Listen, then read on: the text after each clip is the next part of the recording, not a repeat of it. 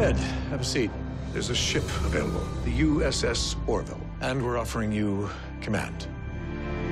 Yes, I'm, I'm ready. You can count on me. There's a message coming in from Admiral Halsey. It says that an executive officer has become available. No. Be professional about this. Oh, please, there is nothing at all professional about this situation. This is my ex-wife, who I have not seen since my divorce, and you're telling me she's okay with this. Ed, she requested it. If there was something good I could do for you, it helped me atone in some way. Dr. Aronov, this is Captain Ed Mercer. We have figured out a way to use quantum field technology to manipulate the speed of events. You do realize this could also be used as a weapon. That's why you're here. We have to get the device back to the Orville.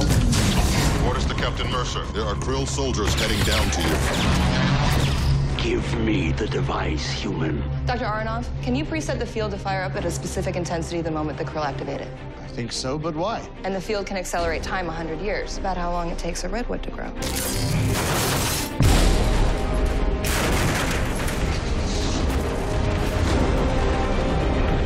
Kelly, I'm asking you to stay. Welcome to the Orville. It looks like you were right about Ed. Does he know? No. And I plan on keeping it that way. He's lucky to have you on his side. Thank you.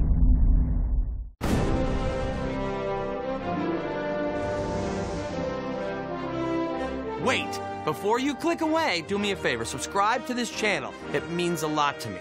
Well, not really, but it means a lot to someone, I'm sure. Also, if you like what you just watched, you can see even more content on the Fox Now app. Don't say I ever gave you nothing.